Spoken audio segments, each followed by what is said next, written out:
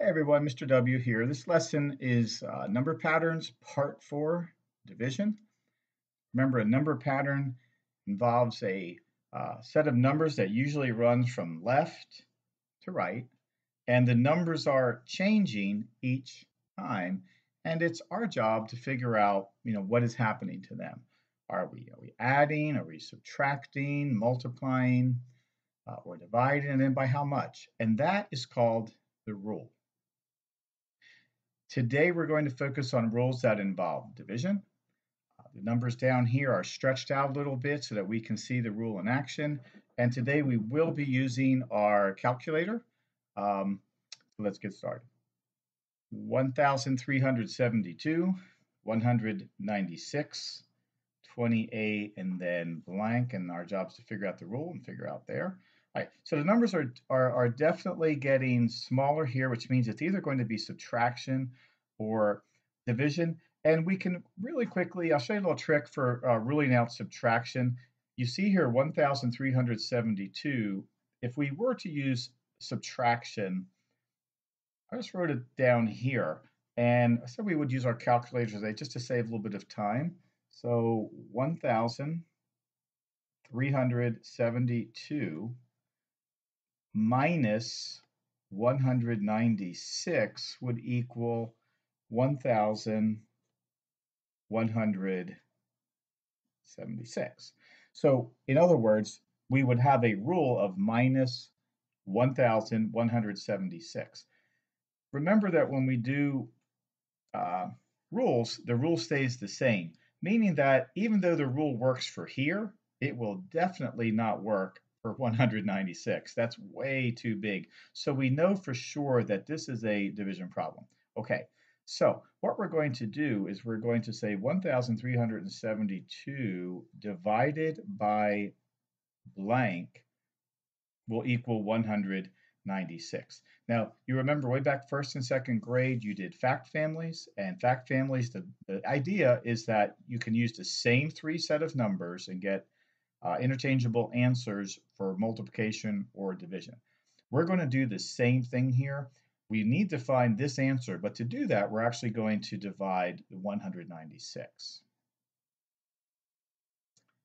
So 1,372 divided by 196, which is that number right there, equals 7.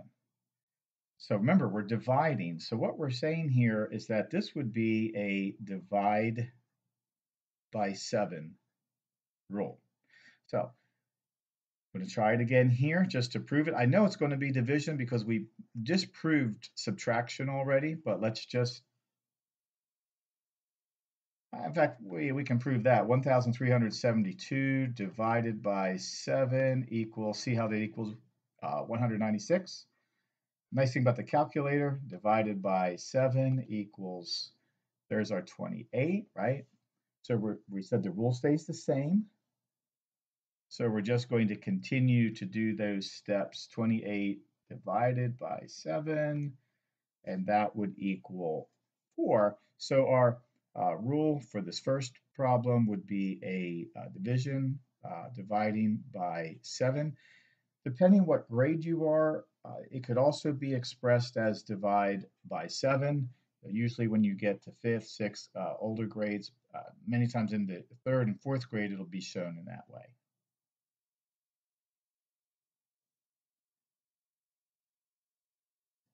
Find the rule. 1,240 and I see this time we have a blank here on the left and the right that we will need to solve. Um, numbers are definitely getting smaller and yes, it could be subtraction, but it's not going to be because 1,000 minus 200 would be 800 just using mental math and 800 you know you're not going to be able to take 800 from 200 so this is a, uh, a division rule so here we're going to do 1000 divided by blank equals 200. And we said we could use our fact family, so I'm going to rewrite this as 1,000 divided by 200. because a fraction represents a division statement. Honestly, we could really just cancel out these zeros here and do 10 divided by 2 would equal uh, the 8, okay? Which would mean this would be a uh, divide by, uh, excuse me, a divide by 5 rule, not 8, I don't know where I got 8 with. So a divide by 5 rule, right? But let's just prove it anyway. Um, one, that's why I should use the calculator. 1,000 divided by 5, right, equals, yeah, there's our 200. So we're just going to carry out this rule. Remember, we can show it either way, and it's good to be familiar with both. 200 divided by 5, there's our 40, and divided by 5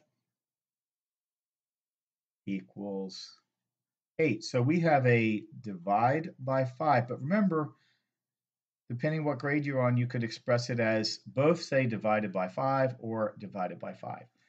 Now we still have this one here, and remember that the rule will stay the same, meaning that this will also be a divide by 5 rule.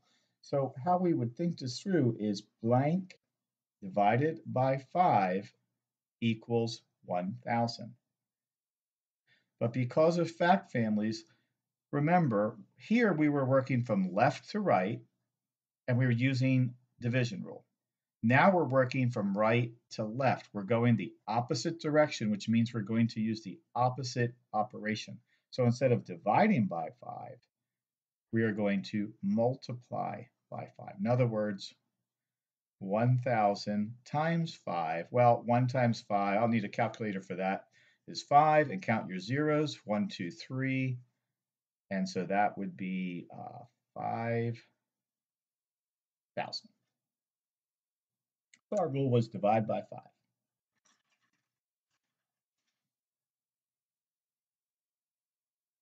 Find the rule and pause if you want. Try it. And again, you can use a calculator. 5,184, 432, 36. Getting smaller, and once again, it's a division. Remember how we ruled out subtraction from we can kind of see that pattern like that. So our steps are going to be 5,184 divided. We said this is divi divided by blank, but because of fact families, we can use that number and find the rule. So 5,184 divided by 432 equals 12, right? So this is going to be a divide by 12, or you could express it as divide by 12. So let's just prove it. 5,184 divided by 12 equals 432 divided by 12 equals our 36. And the rule stays the same, right? 36 divided by 12 equals 3. And we've got this one here. Remember, the rule stays the same, but because now we're working from right to left, we are doing the opposite. So this would read as blank divided by 12 equals 5,184.